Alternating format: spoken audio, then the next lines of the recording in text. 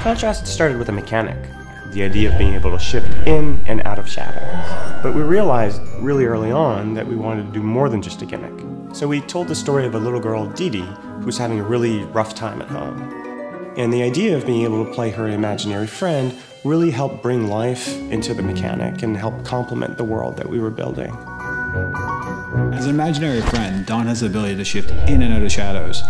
Every shadow becomes a platform, and you'll have to go between 3D and 2D constantly to solve our puzzles. But you can move some lights and objects in 3D, which allows you to change the shadows in 2D. It's a core element to solving some of the puzzles.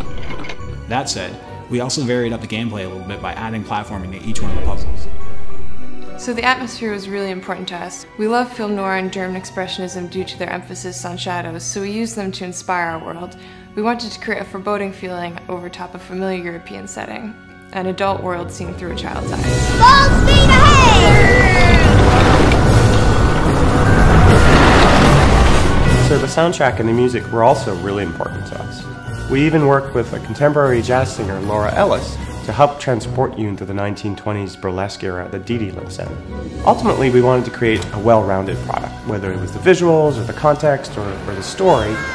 We really wanted to create a unique atmosphere that we think you're really going to enjoy.